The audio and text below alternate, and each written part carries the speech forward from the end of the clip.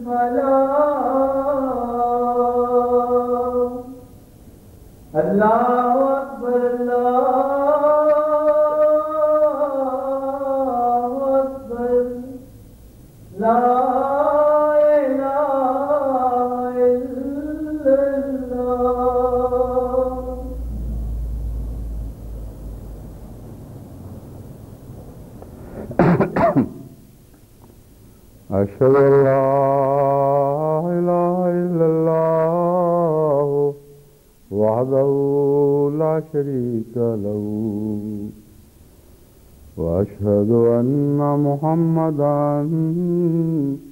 عبده ورسوله. أما بعد فأعوذ بالله من الشيطان الرجيم. بسم الله الرحمن الرحيم الحمد لله رب العالمين الرحمن الرحيم مالك يوم الدين إياك نعبد وإياك نستعين. اهدنا الصراط المستقيم. صراط الذين أنعمت عليهم. غير المغضوب عليهم ولا الضالين.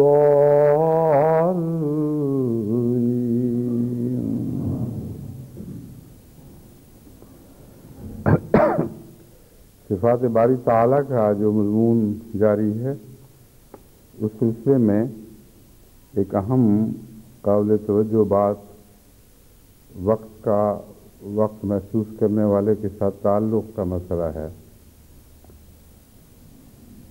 وقت کوئی ایسی چیز نہیں جو یکساں ہر صورت میں ہر ایک کے ساتھ ایک ہی طرح کے تعلق رکھتا ہو اور ایک ہی طرح کے احساس پیدا کرتا ہو۔ آپ مصروف ہوں کسی چیز میں اور بہت دلچسپی ہو تو آپ کا وقت آنند فانند گزر جاتا ہے۔ اور اگر ایسی جگہ بیٹھے ہوں جہاں طبیعت پر بوجھ ہو، طبیعت کے خلاف، مزاج کے خلاف لوگ بیٹھے ہوں، تو بعض وقت گزرتا ہی نہیں ہے۔ پھر مصیبت زدہ کا وقت بہت آہستہ گزرتا ہے۔ فراق کے مارے ہوئے کا وقت بہت آہستہ گزرتا ہے۔ اور وہ جو آرام محسوس کر رہا ہے یا جسے وصل کی راحت میسر ہے، اس کا وقت بہت تیزی سے گزر جاتا ہے۔ لگتا ہے لمحے اڑتے ہوئے چلے جا رہے ہیں۔ تو سوال یہ ہے کہ اللہ کی ذات سے اس مضمون کا کیا تعلق ہے؟ اور کیا خدا تعالیٰ کے لیے بھی زمانہ اسی طرح کے اثرات پیدا کرتا ہے؟ یا فرق ہے۔ جہاں تک جذبات کے ہجان کا تعلق ہے، یہ فرق تو بہت واضح اور قطعی ہے۔ اور حضرت عبدالس مسیح معود علیہ السلاۃ والسلام نے بھی اس بارے میں بڑی تفصیل سے اور بڑی حتمی طور پر روشنی ڈالی ہے کہ اللہ تعالیٰ کے اندر وہ ہجان نہیں ہے جو انسان اپنے اندر پاتا ہے۔ غم کے وقت بھی انسان کے اندر ایک ہجان کی کیفیت پیدا ہوتی ہے۔ خوشی کے وقت بھی انسان کے اندر ایک ہجان کی کیفیت پیدا ہوتی ہے۔ لیکن اللہ تعالیٰ اس ہجان سے پاک ہے۔ کیونکہ ہجان دراصل ذات کے اندر زمانہ گزرنے کو کہتے ہیں۔ اگر کسی ذات کے اندر زمانہ گزرنے لگے تو وہ ہجان ہے۔ اور زمانہ ٹھہر ٹھہر جائے تو وہ اکسانیت ہے، طبیعت بیدار ہو جاتی ہے اور کہتے ہیں وقت نہیں گزرتا۔ لیکن دراصل یہ اندرونی کیفیات ہی کے نام ہیں۔ بس حضرت مسیم علیہ والسلام اس بارے میں بڑی قطیت کے ساتھ اور اس وجہ سے کہ واقعات بہت ہی اہم مسئلہ ہے۔ فرماتے ہیں کہ اللہ تعالیٰ کی ذات میں ہجان کا تصور جرم اور گناہ ہے۔ خدا تعالیٰ میں کوئی ہجان نہیں ہے۔ اور اس لیے لازم ہے کہ اگر ہجان ہے تو پھر وہ ایک فانی ذات ہے۔ کیونکہ اس کے اندر پھر تبدیلیاں ہو رہی ہیں۔ اور تبدیلیاں ایسے زمانے کو چاہتی ہیں جو کسی نہ کسی طرف کو کنارہ رکھتا ہے۔ آغاز بھی ہوتا ہے، انجام بھی ہوتا ہے، اور اس کے مادے کی کیفیت ایک نہیں رہتی۔ اس پہلو سے یہ بہت اہم مضمون ہے، لیکن اس کے نتیجے میں پھر جو اور مسائل پیدا ہوتے ہیں اور بعض احادیث میں خدا تعالیٰ کی صفات جس طرح بیان فرمائی ہیں، ان سے اس مضمون کا جو ایک قسم کا ٹکراؤ دکھائی دیتا ہے، اس کا حل پیش کرنا ضروری ہے۔ جہاں تک ہجان کا تعلق ہے، اس کا جیسا کہ میں نے بیان کیا ہے، زمانے کے گزرنے سے ایک گہرا تعلق ہے۔ اور اگر زمانہ نہ گزرے تو پھر انسان اور کچھ نہیں، تو کھیل کود میں ہی مصروف ہو جاتا ہے۔ اور کھیل کود سے وقت کو ٹالتا ہے۔ آج کل جو ٹیلی ویژن دیکھنے کا رواج ہے، یہ وقت کو تباہ کرنے کی یہی شکل ہے۔ کوئی اچھا کام نہ ہو، کوئی دلچسپی کی بات نہ ہو، مصروفیت نہ ہو، تو ایسا آدمی ٹیلی ویژن کے سامنے بیٹھا رہتا ہے۔ یعنی وہ لوگ یا وہ قومیں جہاں یہ عام ہے، ان کا یہی حال ہے کہ بچے بھی، بڑے بھی وہ ایک کام کو چھوڑ کر ٹیلی ویژن کے سامنے آ کے بیٹھتے ہیں۔ اور ٹیلی ویژن کے سامنے آ کے بیٹھنا کئی قسم کی کہانیاں بیان کرتا ہے۔ کئی ان کہیں باتیں ہمارے سامنے کھولتا ہے۔ ایک بچہ جس کو پڑھائی میں دلچسپی ہے اور گہرا انہماک پایا جاتا ہے اور شوق ہے کہ وہ زیادہ نمبر لے۔ وہ ٹیلی ویژن دیکھے گا بھی تو سرسری نظر سے پاس سے دیکھ کے گزر جائے گا، مگر اس کے پاس وقت نہیں ہوتا۔ ایک شخص ہے جسے ایک اچھی مجلس مہیا ہے، بہت دلچسپ باتیں ہو رہی ہیں۔ ایسے موقع پر ٹیلی ویژن کے بعد اچھے پروگرام بھی لگے ہوں تو لوگ کہتے ہیں، بند کرو اس کو، بند کرو، ختم کرو۔ ہمیں باتیں کرنے تو بڑا مزہ آ رہا ہے۔ تو یہ دراصل مختلف مزوں کے نہ ہونے یا وقت کے اچھے مصرف نہ ہونے کے نتیجے میں انسان کھیل کود کی طرف مائل ہوتا ہے۔ اس تعلق میں اللہ تعالیٰ فرماتا ہے، وما خلق نہ سما اللہ وما بینا ہما کہ ہم نے آسمانوں کو اور زمین کو اور جو کچھ اس میں ہے، اسے کھیل تماشے کے طور پر پیدا نہیں کیا۔ کیونکہ کھیل تماشا متقاضی ہے کہ دوسری طرف وقت کا بہتر مصرف نہ ہو۔ اور جہاں تک وقت کا تعلق ہے، کیونکہ خدا وقت کا خالق ہے وقت کی مخلوق نہیں۔ اس لیے وقت اس پر حاکم نہیں ہے، وہ وقت کا حاکم ہے۔ اور اس طرح سے جو چیزیں اس نے پیدا کی ہیں، ان میں اگر اس کو بوریت ہو تو ان کو پیدا کیوں کرتا؟ ان چیزوں کو سنبھالنا، ان کی دیکھ بھال کرنا، ان کا انتظام کرنا، کیونکہ وہ خود مالک وقت ہے۔ اس کے لیے لازم تھا کہ ایسا ایسا کرتا کہ خدا کی ذات کے مطابق ہوتی وہ اس کی شایان شان ہوتی اور اگر وہ شایان شان ہو تو کھیل شایان شان نہیں رہتی۔ اور اس کے کھیل اپنے معنی کھو دیتی ہے۔ اسی لیے میں نے آپ کے سامنے یہ ٹیلی ویژن کی مثال رکھی اور دوسرے کھیل کود کی مثالیں بھی آپ کے سامنے ہیں۔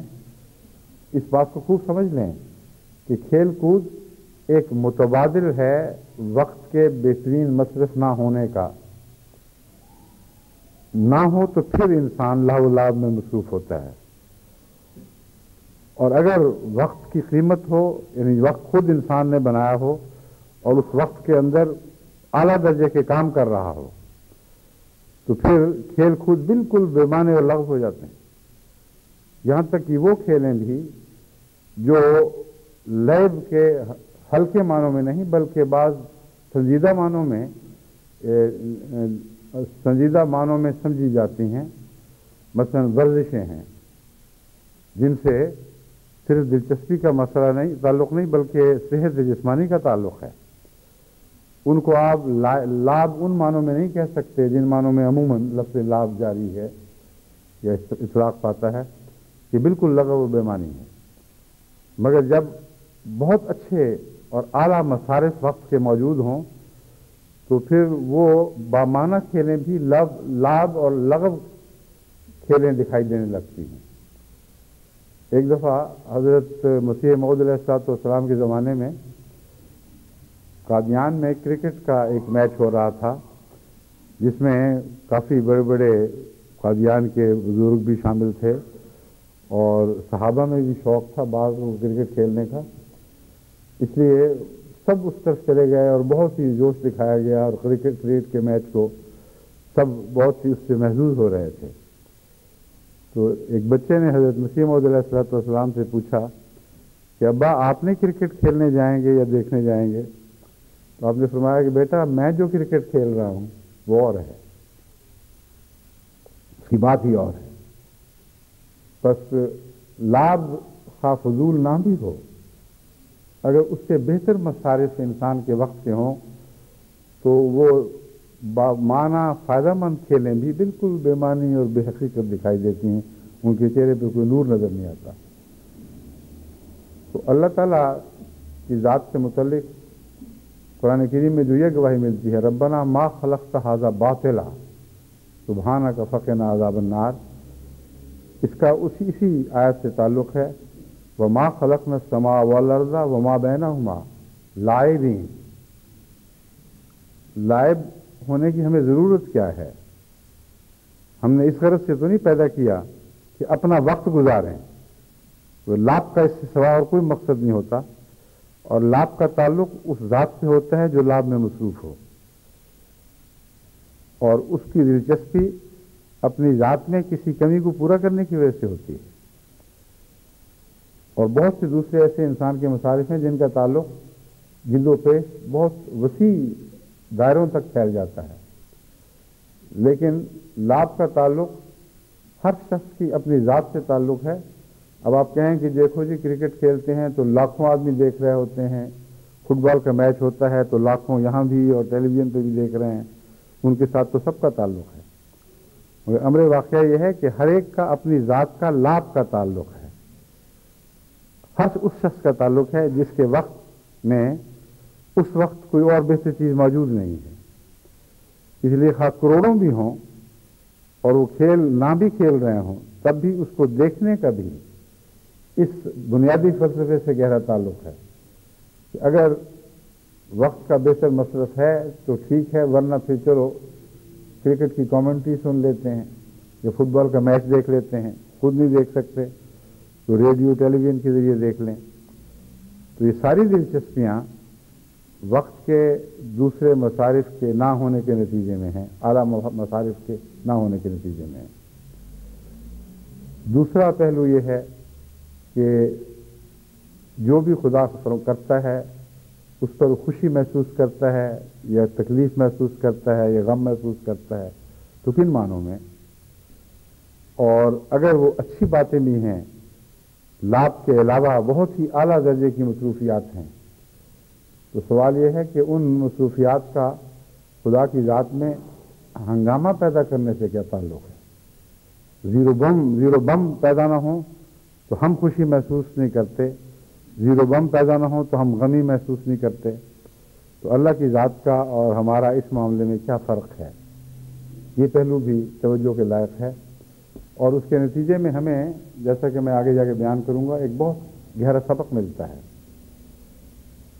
ہم جب خوشی محسوس کرتے ہیں، تو کچھ پانے کے نتیجے میں محسوس کرتے ہیں۔ اور جب غم محسوس کرتے ہیں، تو کچھ کھونے کے نتیجے میں محسوس کرتے ہیں۔ اور پانے کا احساس جو ہے، اگر محرومی بڑی ہو، تو اتنا ہی زیادہ دل میں ہنگامہ پیدا کر دیتا ہے۔ اور کھونے کا احساس اگر غربت بہت ہو تو اتنا ہی زیادہ زیرو بم دل میں پیدا کرتا ہے اور ایک ہجان سے برپا ہو جاتا ہے۔ تو اللہ کے ہاں نہ پانے کا یہ مفہوم ہے، نہ کھونے کا وہ مفہوم ہے۔ لیکن اس کے باوجود خوشی اور غم، ایک معنی کا غم خدا کی ذات کے حوالے سے ہمیں احادیث میں ملتا ہے۔ پھر اس کے کیا معنی ہیں ایک شخص جس کا سب کچھ ہو اور اس نے ہر چیز پر احاطہ کیا ہو، وہ کوئی چیز کھو سکے ہی نہ۔ اگر کوئی اس سے ہٹ کر پرے جاتی ہے، کوئی چیز، اور وہ باشعور ہے، تو دراصل وہ اس کا وہ کھو رہی ہے، نہ کہ خدا کھو رہا ہے۔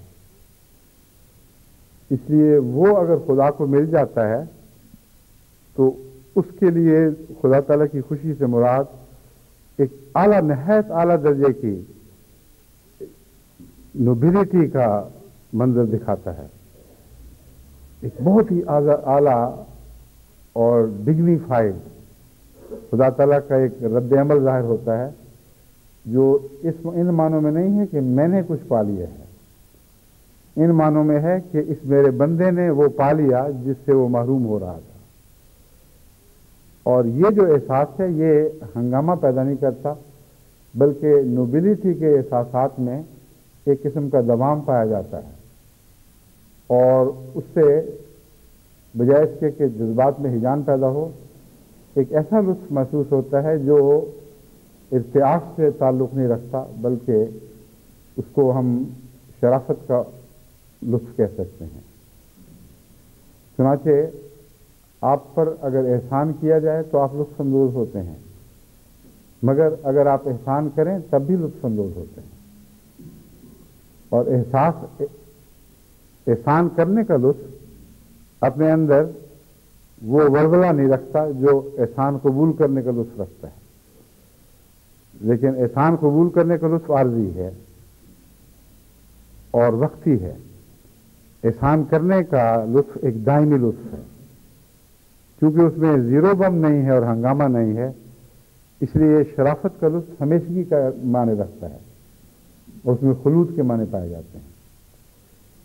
بس اللہ تعالیٰ کا چونکہ ہم سے تعلق احسان کا ہے، اس لیے جو احسان کا لطف ہم محسوس کرتے ہیں، اس سے ملتی جلتی کوئی بات ہم سوچ سکتے ہیں۔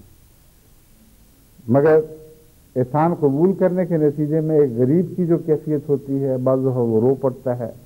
بعض دفعہ خوشی چیخیں مارنے لگتا ہے، بے قرار ہو جاتا ہے کہ کس طرح میں اس کا احسان کا بدلہ اتاروں۔ یہ اور کیفیت ہے اور احسان کرنے والا جو یہ کیفیات پیدا کرتا ہے، وہ ان کیفیات سے بالا ہوتا ہے۔ اس کے اندر یہ ہنگامے نہیں ہوتے، بلکہ بعض دفعہ وہ شرمندگی محسوس کرتا ہے کہ یہ کیوں اس قدر اہمیت دے رہے ہیں اس بات کو۔ اور اللہ تعالیٰ نے یہی نوبلٹی انسان کو ان معنوں میں سکھائی کہ جب تم بھوکوں کو کھانا کھلاتے ہو، جب غریبوں کی خدمت کرتے ہو اور وہ شکریہ ادا کرتے ہیں، تو یہ کہا کرو، لا نرید منکم جزام والا شکورا۔ یہ تو ہم اللہ کی خاطر کر رہے تھے۔ یہ ادھر رکھ کر ان سے کہا کرو کہ ہمارا شکریہ ادا نہ کرو۔ کیونکہ شکریہ ان جن معنوں میں وہ ادا کرتے ہیں، اس کے، اس سے ان کو ایک قسم کی تکلیف ہوتی ہے۔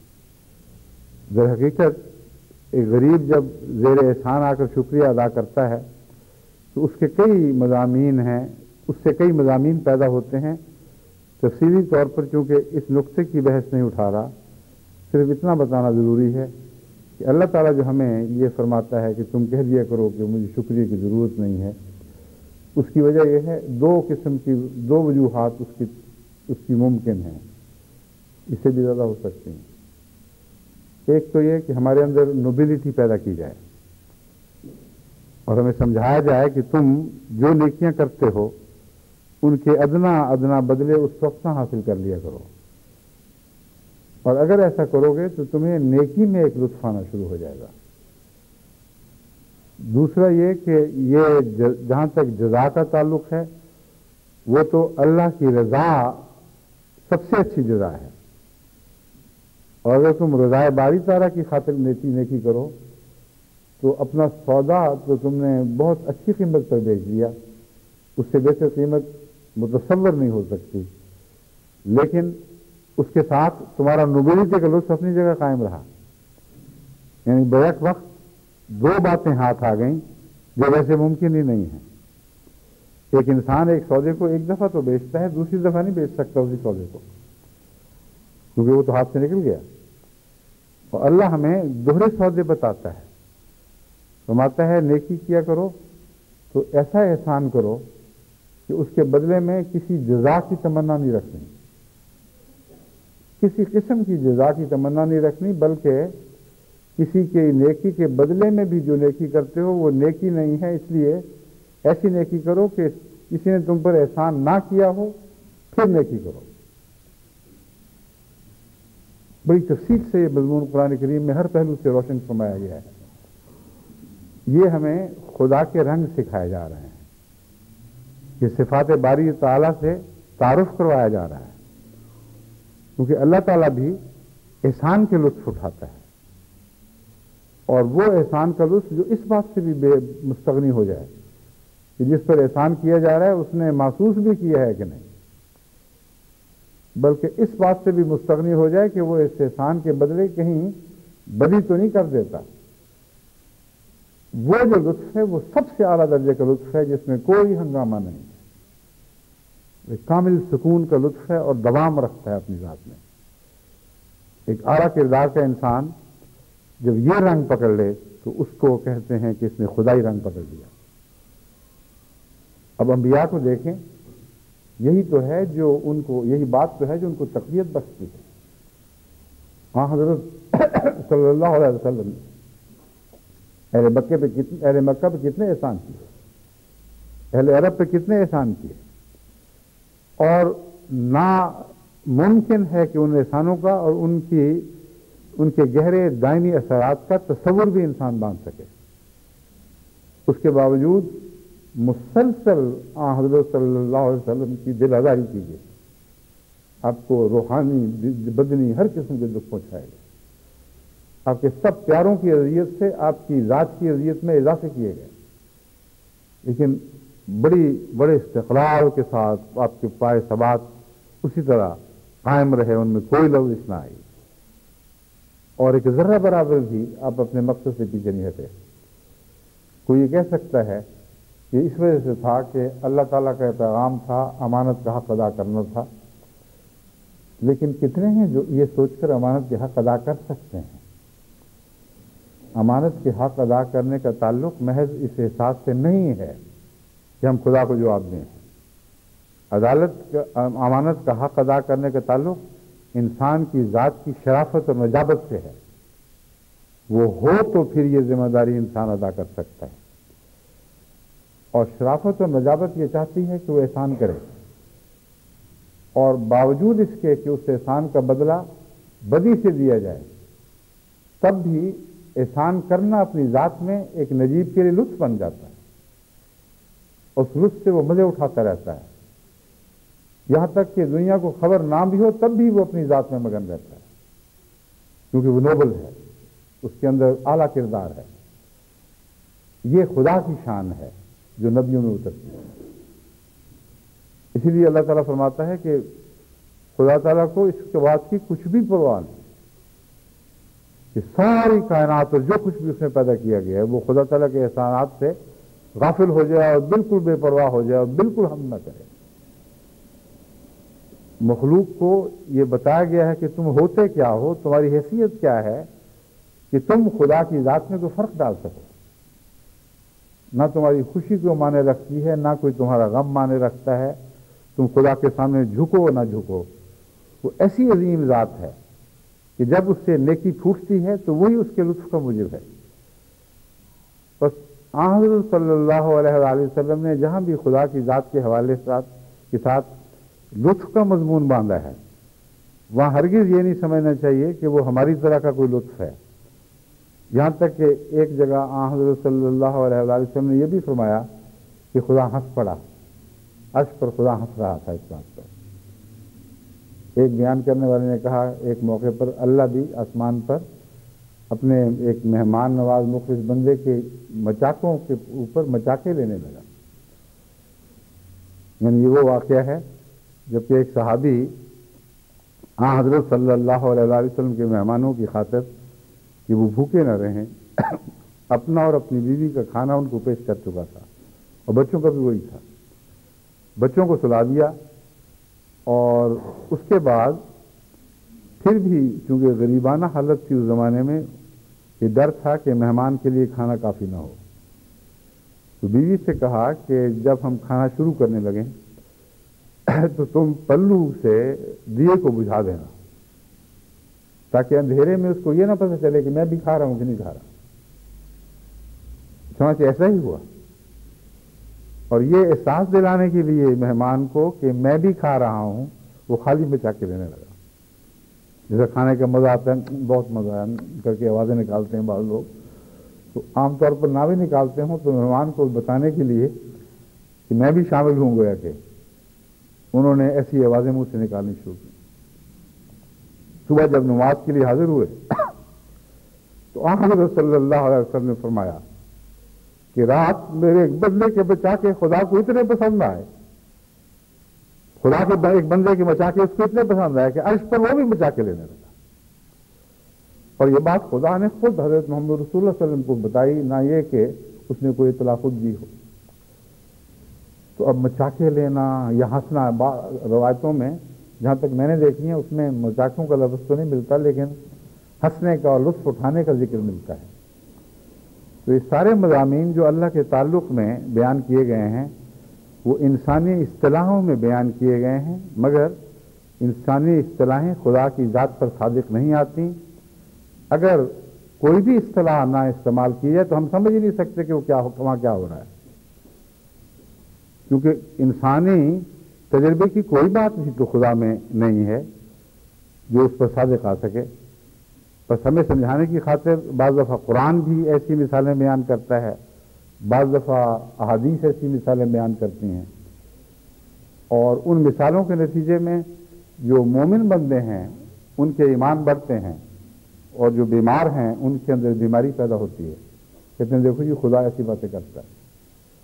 چنانچہ حضرت مسیم علیہ السلام کے جو آریوں کے ساتھ مناظرے ہوئے ہیں، وہاں بعد نہایت ہی بدخلق آریوں نے، نہایت ہی گندی زبان قرآن کے متعلق استعمال کی کہ دیکھو جی تمہارے قرآن کے مطابق تو اللہ کے ہاتھ ہیں، اس کے پاؤں ہیں، وہ جہنم میں پاؤں ڈالے گا، حدیث میں آتا ہے، اور خدا جہنمی ہوا، اس قسم کی بکواس اور گندی زبان استعمال کرتا رہا۔ لیکن قرآن کریم ایسی باتوں پر بھی نظر رکھتا ہے۔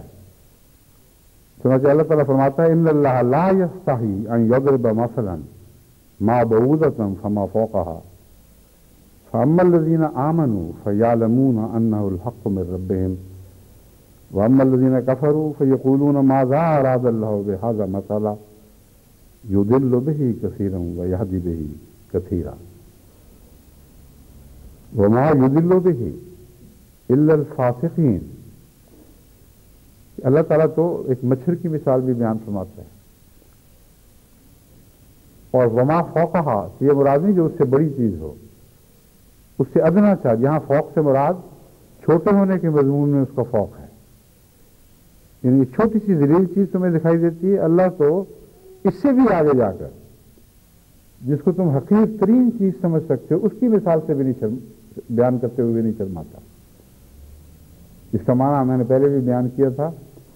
اصل معنی تو یہ ہے کہ خدا تعالیٰ کی کسی تخلیق میں کسی شرم کی وجہ ہی کوئی نہیں ہر تخلیق تخلیق شاندار ہے۔ ہر تخلیق کی کنوں میں اتر کے دیکھیں تو آپ ورثہ حیرت میں ڈوب جائیں گے۔ اتنا حیرت انگیز نظام تخلیق ہے کہ اس کے چھوٹے سے چھوٹے ذرے میں بھی کمالات کا ایک عالم پنہا ہے، ایک جہان چھپا ہوا ہے۔ تو ایک تو یہ معنی ہے لیکن دوسرا معنی یہ ہے کہ مثالیں جب خدا تعالیٰ بیان فرماتا ہے تو اس کے مختلف اثر پڑتے ہیں۔ جو بیمار لوگ ہیں، ان کی مرض میں اضافے ہو جاتے ہیں۔ جو ایمان والے ہیں، ان کے ایمان بڑھ جاتے ہیں۔ اس لیے سمجھنے کی بات ہے کہ ان مثال، مثالوں کو کس طرح سمجھو؟ بس جو وہ مثالیں جو اللہ تعالیٰ اپنے متعلق یا دوسروں کے متعلق قرآن کریم میں بیان فرماتا ہے، ان کے اطلاق کا مسئلہ ہے۔ ایک مومن ان کو ایسے رنگ میں اطلاق کرتا ہے ان کا کہ اس کا ایمان بڑھتا ہے۔ ایک کافر ایسے رنگ میں ان کا اطلاق کرتا ہے کہ اس کی بے ایمانی بڑھ جاتی ہے۔ تو اللہ تعالیٰ فرماتا ہے وہ ماں یو بھی الفاسقین گمراہ اللہ کرتا تو ہے، مگر صرف فاسقوں کو گمراہ کرتا ہے۔ کیونکہ ان کے اندر بیماری پہلے سے موجود ہے، اس لیے وہ بیماری اور زیادہ سنگین اور گہری ہو جاتی ہے جب وہ خدا کی کسی مثال کو نہ سمجھ سکے۔ تو اللہ تعالیٰ نے جو امثلہ قرآن کریم میں بیان فرمائی ہیں، یا حضرت عبدت محمد مصطفیٰ صلی اللہ علیہ وآلہ وسلم نے جو اسماء باری تعالیٰ کے مضمون پر مثالیں بیان فرمائی ہیں، ان کو اس شان کے مطابق سمجھیں جو شان خدا تعالیٰ سے تعلق رکھتی ہے اور خدا تعالیٰ کی ذات پر اطلاق پا سکتی ہے۔ ورنہ آپ تضادات کی دنیا میں کھوئے جائیں گے اور خدا میں کوئی تضاد نہیں۔ اور اگر خدا میں تضاد نہ ہو اور آپ کے ذہن میں خدا کی ذات میں تضاد ہوں، تو اتنا ہی آپ خدا سے دور ہٹ جاتے ہیں۔ اس لیے یہ مضمون بہت سی اہمیت رکھتا ہے کہ آپ اللہ کی ذات کے متعلق اپنے خیالات کو تضادات سے پاک کریں۔ چنانچہ اسی کی مثال ایک میں آپ کے سامنے رکھتا ہوں۔ حضرت صلی اللہ علیہ وسلم نے فرمایا،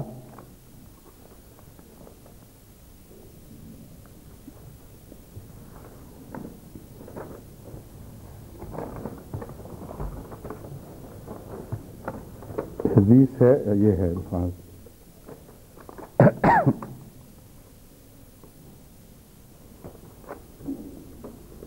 مسلم کتاب التوبہ، باب فی الحد علی یعنی مسلم کی کتاب توبہ سے یہ حدیث لی گئی ہے، جس کا باب ہے توبہ توبہ پر لطف اٹھانا۔ عن ابي هريره رضي الله عنه عن رسول الله صلى الله عليه وسلم انه قال قال الله عز وجل انا عند ظن عبدي بي وانا معه حيث يذكرني والله الله افرح بتوبه عبده من احدكم يجد ضالته بالفلاة ومن تقرب الي شبر تقربت اليه ذراعا ومن تقرب الي ذراعا تقربت اليه باعا واذا اقبل الیہ یمشی اقبل تو الہ اس کا مطلب یہ ہے حضرت ابو حریرا بیان کرتے ہیں کہ آ حضرت صلی اللہ علیہ وسلم نے فرمایا کہ اللہ تعالیٰ فرماتا ہے، انا ان دا ضم ابدی بھی میں اپنے بندے سے بندے کے لیے اس کے زن کے مطابق بن جاتا ہوں۔ اس حدیث کا میں نے پہلے بھی ذکر کیا تھا، اب اس دوسرے تعلق میں بھی اسی حدیث کا ذکر کر رہا ہوں۔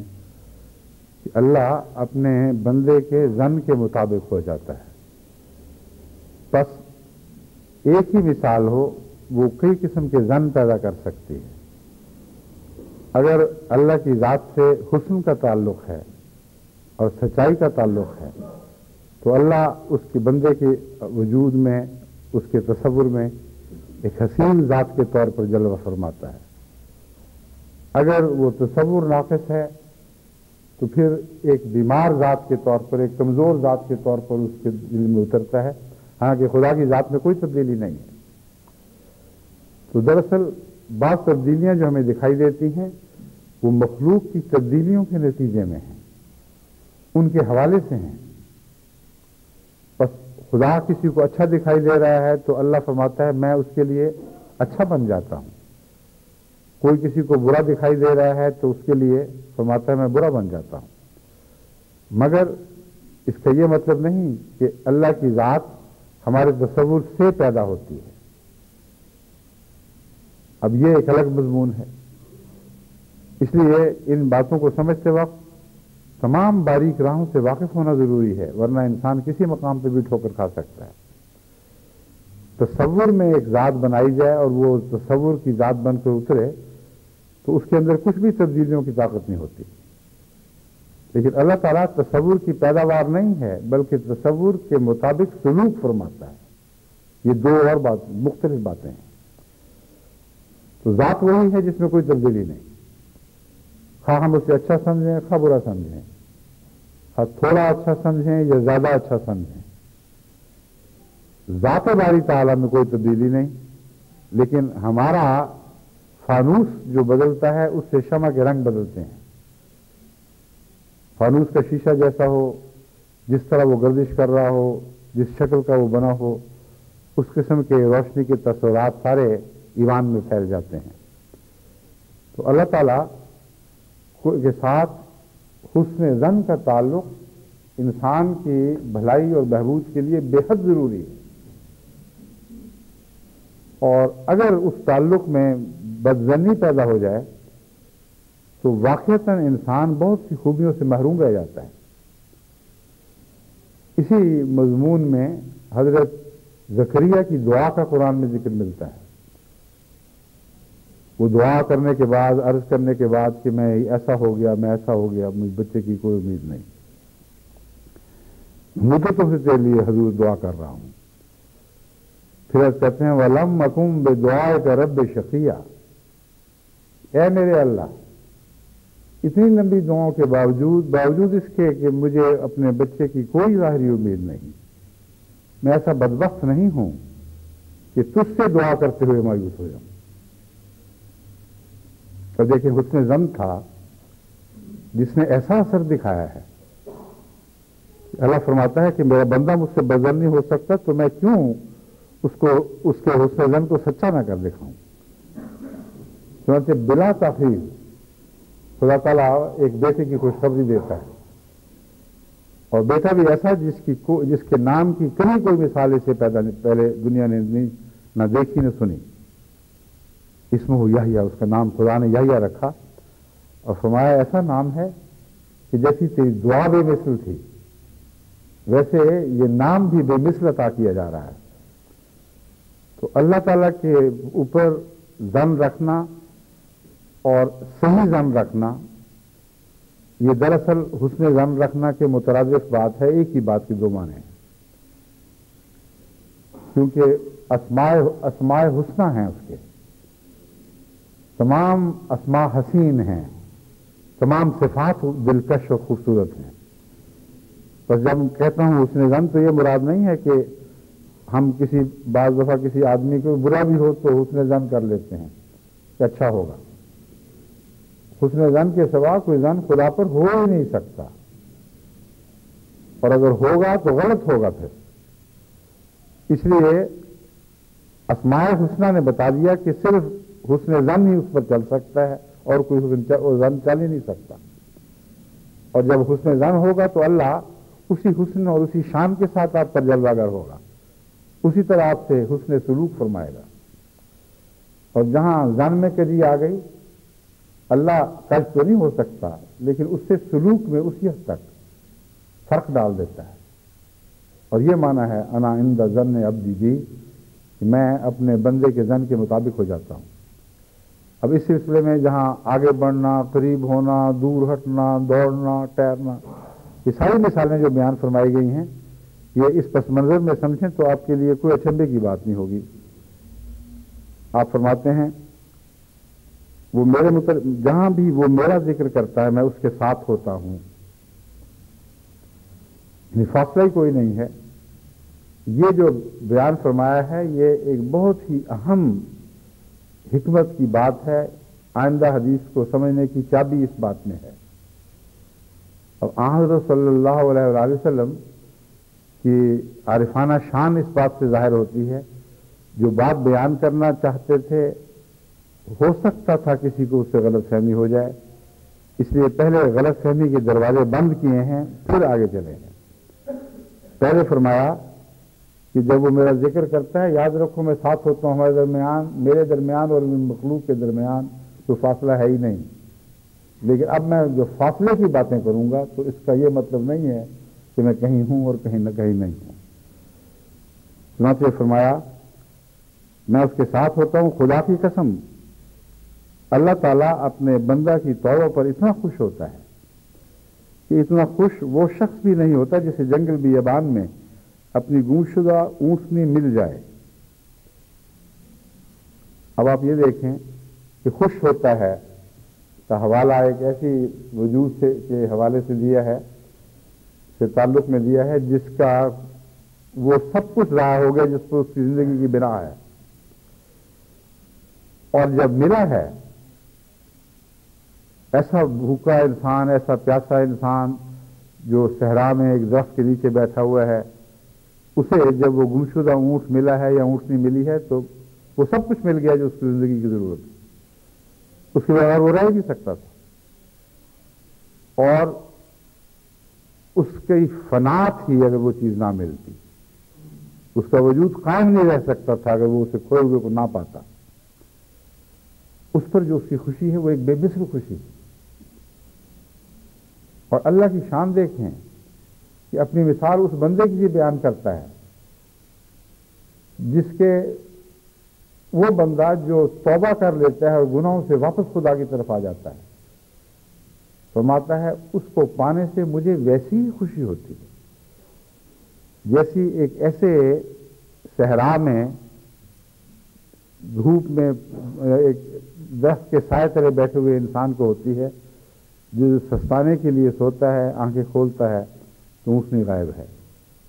اس کا سارا سامان اس پر لدا ہوا، اس کے سفر کی ضرورت اس وہ اونٹنی میں موجود۔ وہ اونٹنی ہو تو وہ سفر کر سکتا ہے۔ اس کا پانی، اس کا کھانا، پینا، ہر چیز اس میں ہے۔ تو وہ اپنی جان کھو دی وہ حسرت کے ساتھ بیٹھا ہوا دیکھ رہا ہے، اس کا کچھ بھی بس نہیں۔ تو اچانک اس کو وہ اونٹنی اپنی طرف آتی ہوئی دکھائی دیتی ہے۔ جیسی خوشی اس کو ملتی ہے۔ اس کی زندگی کی ہر ضرورت مل گئی، اس کی جان اس کو دوبارہ مل گئی۔ اتنی خوشی ہوتی ہے۔ اللہ تعالیٰ یہ مثال دے کر فرماتا ہے، میرا بندہ جب توبہ کر کے میری طرف آتا ہے، مجھے ویسی خوشی ہوتی ہے۔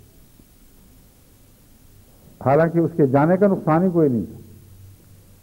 خدا کی ذات کے ساتھ اس کا یہ تعلق نہیں تھا کہ اگر وہ نہ ملتا تو خدا تعالیٰ کا کچھ کچھ حصہ کھویا جاتا۔ یا اس کی ذات کو کسی قسم کا وہ خطرہ لاحق ہوتا اللہ تعالیٰ تو یہ فرماتا ہے کہ ساری کائنات بھی اگر میرے احسان نہ فراموش ہو جائے اور مجھے بھلا دے تو مجھے کوئی فرق نہیں پڑتا۔ تو یہ خوشی نوبیلٹی کی خوشی ہے۔ یہ نہایت ہی اعلیٰ عظیم کردار کی خوشی ہے، جس کی جس کا جس کی مثال ہمیں انسان میں مل ہی نہیں سکتی، سوائے اس کے کہ قریب تر مثال انبیاء میں ملتی ہے۔ اور اس کا جانا کیا، اس کو واپس آنا کیا۔ لیکن چونکہ اللہ محسن ہے اور اس کے احسان کا تقاضا تھا، ایک ذرے میں بھی اگر کچھ اور یافت ہو جائے، اس کو کچھ مل جائے، تو اللہ کا یہ احسان ہے اس پر۔ گویا اللہ نے اس کو نہیں پایا، اس نے اللہ کو پایا ہے۔ اور طرز بیان یہ ہے کہ میں نے سب کچھ پا لیا۔ یہ بھی حسن و احسان کا ایک معراج ہے۔ اس سے بالا حسن و احسان تصور ہو ہی نہیں سکتا۔ پایا اس نے جس نے خدا کو کھو کر سب کچھ کھو دیا تھا۔ اور خدا یہ کہہ رہے کہ میں نے سب کچھ پا لیا۔ وہ میرا سب کچھ کھویا گیا۔ یہ جو لطف ہے، اس میں کوئی ہجان نہیں ہے۔ یہ ایک دائمی نجابت کا لطف ہے۔ ایک حسن و احسان کا ایک ایسا جلوہ ہے جسے ہمیش کی حاصل ہے۔ اور ہمیشہ اسی طرح ہی یہ جلوہ اپنے خدا تعالیٰ کی مخلوقات پر ظاہر ہوتا رہتا ہے۔ بس جنتوں کا دوام بھی اسماء باری تعالیٰ پر غور کرنے سے سمجھ آتا ہے۔ کیوں خدا کے بعد ایسے بندے ہیں جن کے متعلق فرماتا ہے خالدین فیہا؟ وہ نعمتوں اور جنتوں میں ہمیشہ ہمیشہ رہیں گے۔ کیونکہ اس سے پہلے اس دنیا میں انہوں نے اپنی صفات کو خدا کی، ہمیشگی کی صفات کے قریب تر کر دیا تھا۔ اور خدا کی، ہمیشگی کی صفات، اس کے حسن و احسان کی صفات کے ساتھ ایک جان ہے، ایک ہی چیز کے دو نام ہیں۔ اور یہ حسن و احسان اتنا بالا ہے عارضی چیزوں سے، وہ چیزیں جو وقت کی غلام ہیں کہ ان کے ہونے نہ ہونے سے اس کو کوئی فرق نہیں پڑتا، یہ اپنی ذات میں جاری رہتا ہے۔ بس اگر آپ خدا کے ایسے محسن بندے بنے کہ ہر ضرورت کو پورا کرنے پر، پورا کرنے پر آپ کو لطف آئے، اور ایسا لطف آئے جیسے گویا آپ کی ضرورت پوری ہو رہی۔ یہ پیغام ہے اس مثال کا، جو سمجھیں تو پھر اسماء باری تعالیٰ پر غور کا کچھ لطف بھی ہے، اور اسماء باری تعالیٰ سے غور سے فائدہ بھی ہے۔ ورنہ خادی زبان سے رکھ لینا کچھ بھی حقیقت نہیں رکھتا۔ اور واقعہ یہ ہے کہ انبیاء اسی سے طاقت پاتے ہیں، اسی سے ان کو استقامت ملتی ہے۔ ان کو احسان کا مسلسل لطف رہتا ہے، یہ نہیں کہ وہ بڑی مصیبت میں مبتلا ہیں۔ دنیا ان کو مصیبت میں مبتلا دیکھتی ہے، لیکن اللہ کے کا قرب نصیب ہونے کی وجہ سے ان کو احسان کا لطف آتا ہے ناشکری پر بھی احسان کا لطف آتا ہے۔ کیونکہ اور بھی ان کی عظمت کردار ابھرتی ہے۔ ایک شخص احسان کرتا ہے، اس کے احسان کا شکریہ ادا کیا جا رہا ہے۔ ایک شخص احسان کرتا ہے، اس کے احسان کا شکریہ نہیں ادا کیا جا رہا۔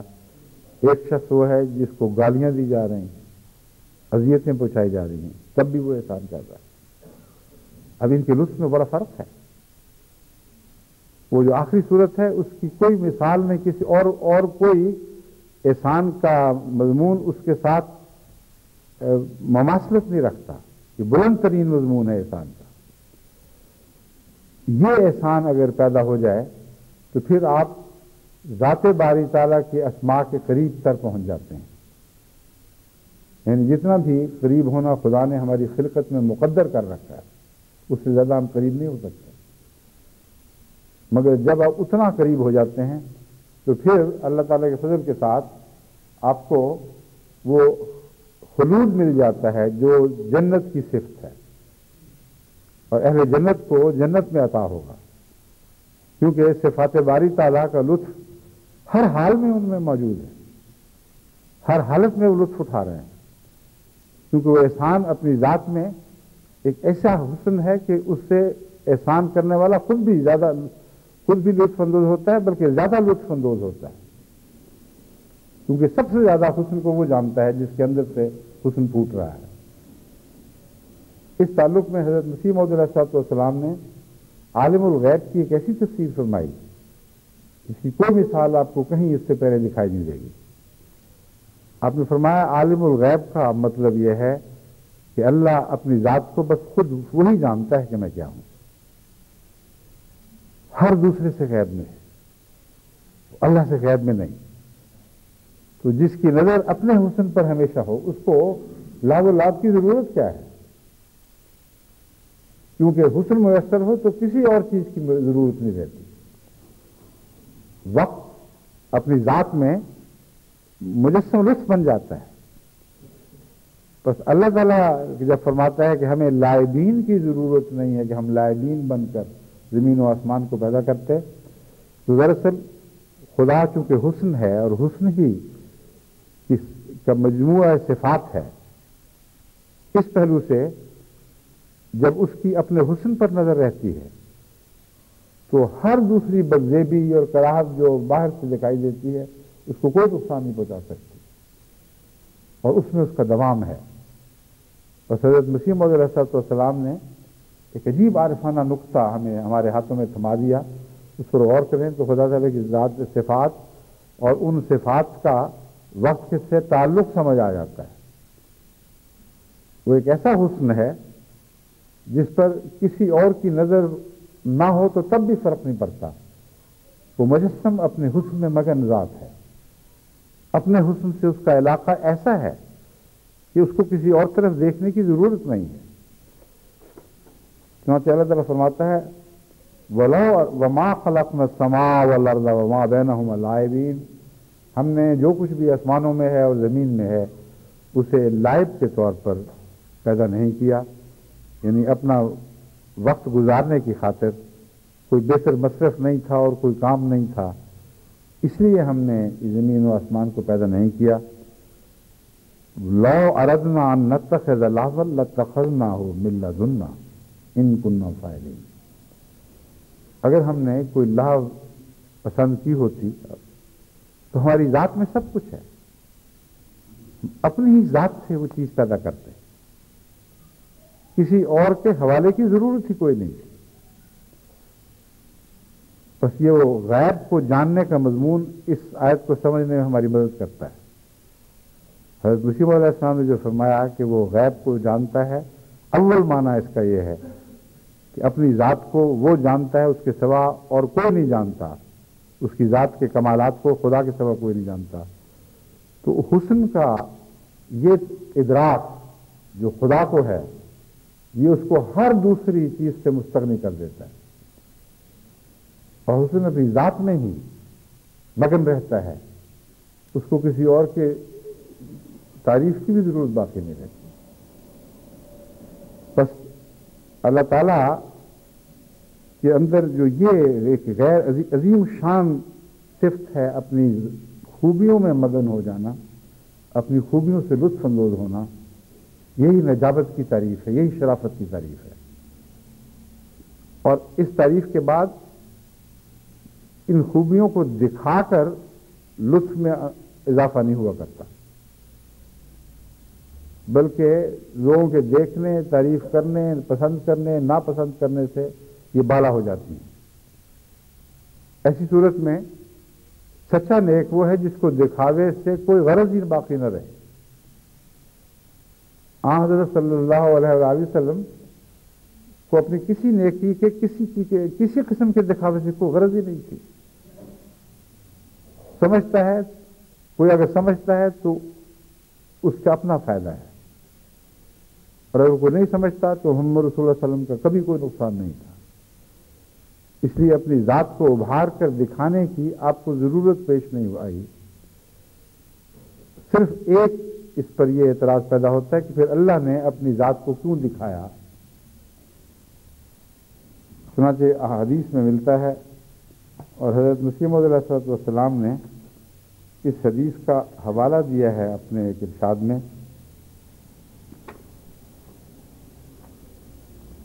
کن تو کنزم مخفین فحبت تو ان او رفا اور دوسری جگہ فرماتے ہیں مسلم علیہ والسلام ارت تو ان استخلفا فخلق تو آدما کہ خدا نے جو فرمایا، اللہ تعالیٰ نے جو فرمایا کہ میں کنز مخفی تھا، میں ایک چھپا ہوا مستور خزانہ تھا عرب تو ان او رفا تو میں نے چاہا کہ میں پہچانا جاؤں، دیکھا جاؤں۔ اور اس کا کسی ذات کے دکھاوے سے تعلق نہیں، کیونکہ خدا نہ بھی دیکھا جاتا، تو اس کے ذاتی لطف میں کوئی فرق نہیں۔ ورنہ یہ کیوں کہا کہ میں مخفی خزانہ تھا؟ مخفی ہوا ہی کیوں پھر حضرت وسیم علیہ صاحب والسلام نے اس کے ساتھ ہی ایک اور حدیث بھی رکھ دی، جس کے الفاظ یہ ہیں،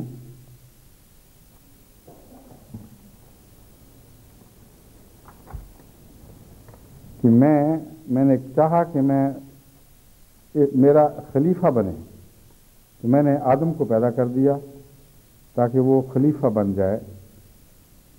عرب تو میں نے ارادہ کیا، یہ پسند چاہا ان استخلفہ۔ کہ میں اپنا خلیفہ بناؤں۔ فخلق تو آدمہ بس میں نے آدم کو پیدا کیا۔ تو دراصل اپنی ذات کی طرح کی ملتے جلتے وجود پیدا کرنا دکھاوے کی خاطر نہیں ہوا کرتے، بلکہ احسان کا یہ بہترین انداز ہے۔ اسی لیے رحمان سے ہر قسم کی تخلیق پھوٹی ہے۔ اس کی مثال ایسی ہے جیسے ماں بچہ پیدا کرتی ہے تو اپنے جیسا پیدا کرنے کی کوشش کرتی ہے، اپنے جیسا وجود یعنی خود بخود کائنات میں خدا تعالیٰ نے ایسی حکمتیں رکھ دی ہیں کہ ہر چیز جو پیدا کرتی ہے، اس اپنے جیسے ہی پیدا کرتی ہے۔ یعنی ماں ارادتاً تو نہیں کرتی، مگر ہوتا ایسا ہی ہے۔ اب وہ جو اپنے جیسا پیدا کرتی ہے، تو اس پر پیدا ہو جو پیدا ہوا ہوا ہے، اس کا کوئی احسان نہیں۔ لیکن جس نے پیدا کی ہے، اس نے احسان کیا ہے، مگر اس لیے نہیں کہ وہ بچہ اس کو پہچانے۔ بچہ نہ بھی پہچانے، تب بھی وہ محسن ہی رہتی۔ ہے بچہ حسن کا بدلہ بدی سے دے تب بھی وہ محسن ہی رہتی۔ ہے بس پہچانے جانے کی خاطر ان معنوں میں نہیں اس کو پیدا کرتی کہ وہ اگر بچہ پیدا ہو اور اس پر پھر وہ احسان کرے اور اس کا پہچاننا اس کی ذات میں ایک اعلیٰ قدر پیدا کر دے یا لطف کا احساس بڑھا دے ہر چیز یہ مقصد نہیں ہوتا۔ بلکہ اس کا تعلق چونکہ رحم سے ہے، رحمان سے ہے، اس لیے اس کے اندر خدا کی وہ صفت جلوگر ہو جاتی ہے جو ماں کے حوالے سے ہمیں خدا کی صفت کو سمجھنے میں بھی زیادہ سہولت پیدا ہو جاتی ہے۔ چنانچہ ایک ماں کے متعلق آتا ہے کہ اس کا اس کا اپنی بہو سے اختلاف تھا، جھگڑا تھا اور بہو گندی اور ظالم عورت تھی۔ اس نے ہر طرح سے اس کو اذیتیں پہنچائیں، لیکن اپنے بیٹی کی خاطر وہ صبر کرتی رہی۔ یہاں تک کہ بہو نے بہو نے اپنے خامن سے کہا، اگر تم مجھ سے سچی محبت کرتے ہو تو اپنی ماں کا سر تشتری پر کاٹ کر لا کے رکھو، میرے سامنے تب میں سمجھوں گی کہ واقعہ تم تم مجھ سے محبت کرتے ہو۔ اور اس ظالم نے یہی حرکت کی۔ اب یہ تو کہانی ہے، مگر اس کہانی سے ہمیں اللہ تعالیٰ کی ذات کا ایک کچھ عرفان نصیب ہو جاتا ہے۔ اور اسی تعلق میں یہ بات ہے جو میں بیان کر رہا ہوں۔ کہتے ہیں، جب وہ سر کاٹ کر لا رہا تھا، تو اس کو ٹھوکر لگی۔ اور تشتری سے وہ سر زمین پر جا پڑا اس سر سے آواز اٹھی۔ بچہ بھی گرا۔ میرے بچے تو یہ چوٹ تو نہیں لگی؟ یہ ماں کا جذبہ دکھانے کے لیے کہانی بنائی گئی۔ مگر اللہ تعالیٰ جب فرماتا ہے کہ میں ایسا خوش ہوتا جسے گونج شدہ اوسلی کسی کو واپس مل گئی۔ دراصل یہی مضمون ہے بس اس کا اور افا کا مضمون یہ نہیں مطلب نہیں ہے کہ اس کے بغیر خدا تعالیٰ کی کوئی حیثیت نہیں تھی، بلکہ وہ اپنے جیسے وجود پیدا کر کے ان پر احسان کرتا ہے۔ اور یہ احسان کرنا ایک فطری چیز ہے، جس طرح ماں کی فطرت میں بچہ پیدا کرنا ہے۔ اور بچے کی تکلیف اس کو ہمیشہ تکلیف پہنچاتی ہے۔ بچے کی خوشی سے وہ ہمیشہ خوش رہتی ہے۔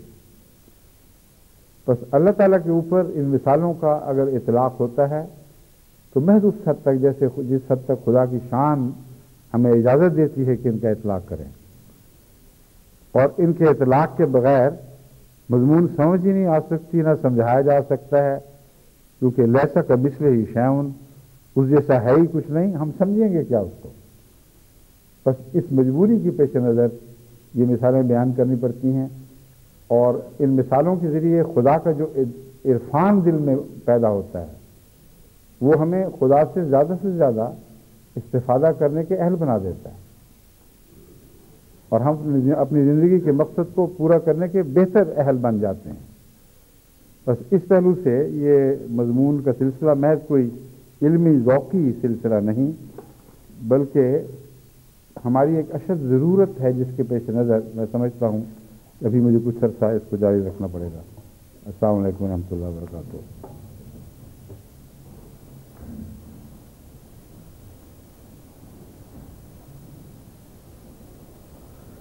الحمد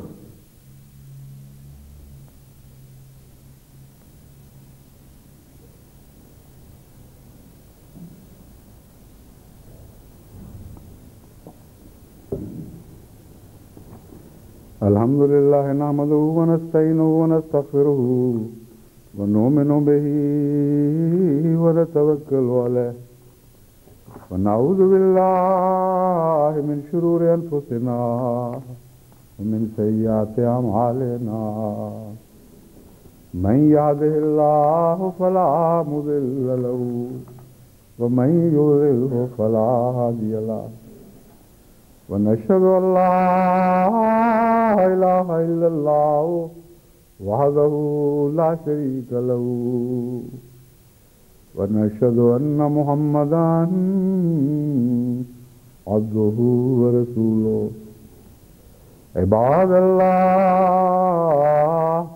رحمكم الله إن الله يأمر بالعدل والإحسان وإيتاء ذي القربى وينهى عن الفحشاء والمنكر والبغي يعظكم لعلكم تذكرون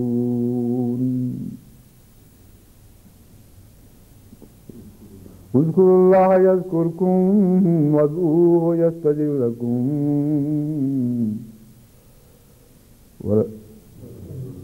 ولذكر الله أكبر.